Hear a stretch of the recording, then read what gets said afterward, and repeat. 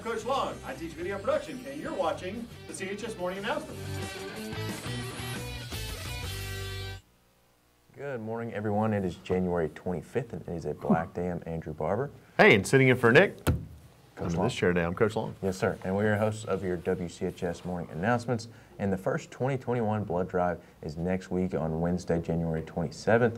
The sign up is in Miss Fisher's room, so make sure you do that. You can donate some blood, it's for a good cause. Yeah, yeah. Blood, donating blood is always for a I've good actually cause. never done that. Really? I'm you should do that. It's, it's kind of a life to thing. honest. If you're scared. scared of needles, just don't watch, Just man. a little bit. Just yeah, come on. it's you're not- I'll yeah, overcome my fears. You you have to do that. Media Center, you got to do. Yeah, at some point in your life, you're gonna overcome. Okay, it's a good thing. Media Center is having a PBS raffle each week for free coffee. Last week's winners you know? are Jackie Chan again and Addie Rivera. So congratulations. Jackie Chin is back up there. He's back up there. I Go to the Media Center. Every single week. pick up your tokens, get your free coffee. Remember to enter the, mini, the Media Center's free coffee um, giveaway each week for your chance to win. Do Oh, yeah. that. And congrats to Leslie Chavez for making the District 7 honor band. Leslie is one of 10 flutes to make the honor band out of dozens who auditioned. And congratulations to you, Leslie. That's awesome. Woohoo! The deadline to submit community service hours, we've mentioned this, it's coming in February. Mm-hmm. Um, for the 2020-2021 school year, students submit hours earned from March 1st, 2020 to February 28, 2021. Community service link for submission is located on the Calhoun City Schools website. Students will select the high school student tab, and under that, just go to the community service tab. Then click on Submit Community Service Hours. Be logging those and fill out the Google form as you get closer to February. All submissions for this school year need to be submitted by February 28, 2021. They so it's about to a month. be. Had to be, They have be. to be. All authors are encouraged to enter the Young Georgia Authors Writing Contest. Last year, one of our juniors, now a senior, Melanie Matul, wrote an amazing poem called Bridges that won the state competition. We're looking for new winners this year, and there will be a school winner in grades 6 through 12. Entries are due by February 5th, and students can submit their original work to their English teachers or Miss Hall. Make sure mm. you submit your stuff. There you go. Kind of Submit to. English teachers. Get it in. Yeah. Senior section, remember to order your cap and gown this month. The fee increases from $65 to $90. Don't be that Don't be guy that person. or that girl that just 25 bucks, just burn it. Yeah. We need to do that. Like just take a t- 20 and a 5 and just light it up. Right. Well, fire alarm might go off. Never mind. Let's, we'll, we'll figure not the best Shredder. idea we've had. Shredder. All right, yeah. Check your email and remind text from Miss Arnold for further information. Get that done. Yes, and CHS weather, today's weather is a high of 61 and a low of 47 while being rainy throughout the day. Rainy throughout there. Not a Yes. percentage, just rainy throughout. Yeah, it's supposed to be pretty spotty. There you go. In sports, girls basketball team, a pair of victories this weekend. Friday night, the Lady Jackets beat Cartersville, led by Brianna Curtis with 17 points. Lindy Ray Davis with 16 points. And on Saturday, the girls uh, defeated Sonoraville. They were led by Brianna Curtis with 23 points. Ashlyn Brzezowski put in an even dozen.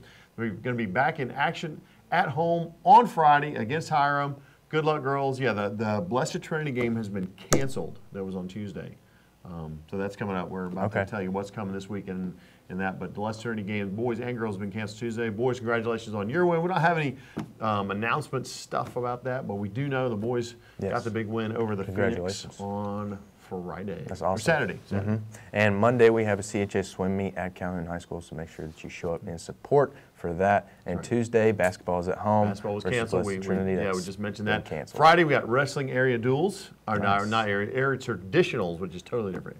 And then basketball is home again against Hiram. Soccer starts their season against Model on Friday, and then CHS debate is going to the Barkley Forum. That's at Emory Oh, that's nice. on Friday. And on Saturday we have a CHS cheer competition at Allatoona. And now over to our FCA guest of the week. Good morning, my name is Jocelyn, and I'm here to share the FCA word of the week. The word of the week is teamwork. Teamwork is defined as the individual commitment to a group effort. There's a story for you.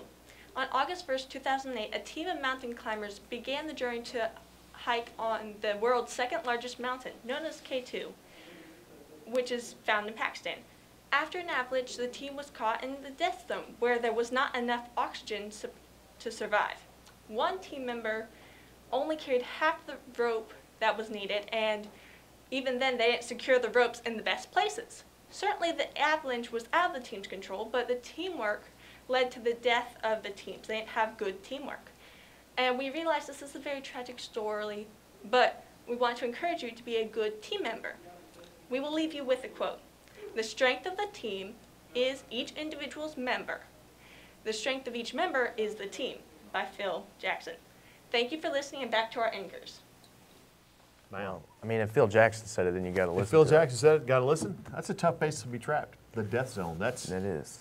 you never want. I, I, I'd prefer not to be caught not in to the be. death zone. Not even in the death zone. no, Probably that's good. not a place that I yeah, want to but be. good stuff. Thank you. That's just me. Yeah.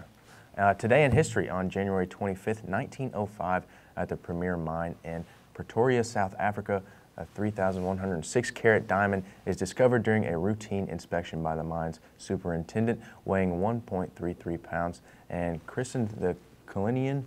Cul- Is, Cullinan? Is that it is? Cullinan. Cullinan. Okay, it was the largest diamond ever found. I would. It seems pretty. One pound. Yeah. A pound of diamond. That's- That's that's a, that's a pretty big diamond. I don't even. Yeah. It's got some weight to it. It's like from a movie. You go ahead It's and got look some weight to it. birthdays. Birthdays. Meander about what that might look like. Happy birthday to it's the 25th. So Israel Gonzalez, Yeah. Jaylene Garreau, Dejaniqua Baker, uh, Jimmy Roblero Bravo, Jennifer Roses Colorado, and Gerardo Flamenco Luna. Happy birthday to you all. Hope you all have a wonderful day, and we hope you have a marvelous Monday. And as always, go Jackets. Go Jackets.